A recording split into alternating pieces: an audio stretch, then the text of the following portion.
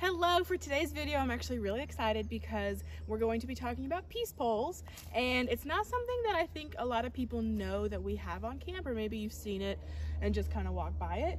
Um, but I'm going to talk to you guys about what peace poles mean and why it's so important to have on camp.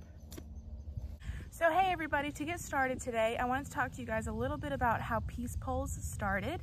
Um, they're kind of fun because they're all over the world. Uh, they're all over the United States.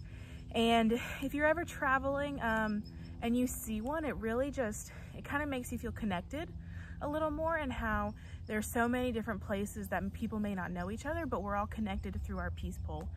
So starting in the end of World War II, in the 1940s, there were two atomic bombs dropped on Japan um, and there was a man who I'll put his name over here because I don't want to um, mispronounce his name.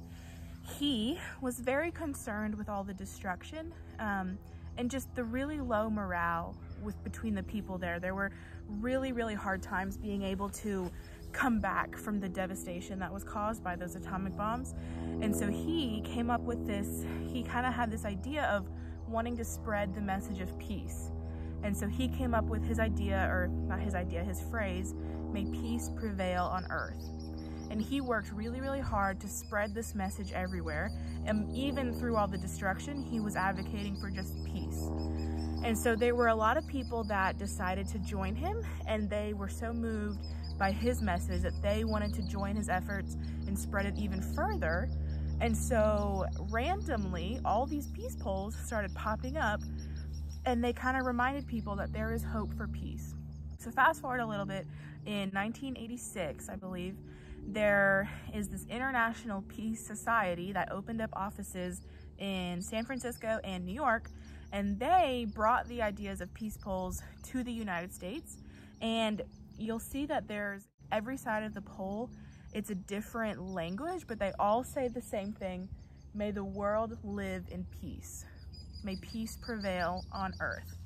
And so that's a little bit about peace poles. Um, we have one on camp here and I, this is one of my favorite spots on camp because it's, I think even though it's just, it's a post, you know, it's wood, I think the idea and the symbolism that it carries, the meaning behind this pole, it really just brings a sense of calm um, and a sense of peacefulness here. And so this is a really great place to sit um, and read or journal. And sometimes I come here and we've got this grassy patch over here, just lay in the grass um, and just really feel that calming, peaceful presence that we can have here at camp, especially right next to the peace pole.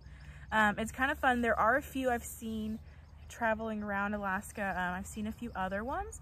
And I just think we can all hope for peace. You know, there's no there's no time where we don't need peace. So I know this wasn't our typical exciting camp activities, um, but this is something that is really special to us here at Birchwood, um, really special to me personally. This is one of my favorite spots.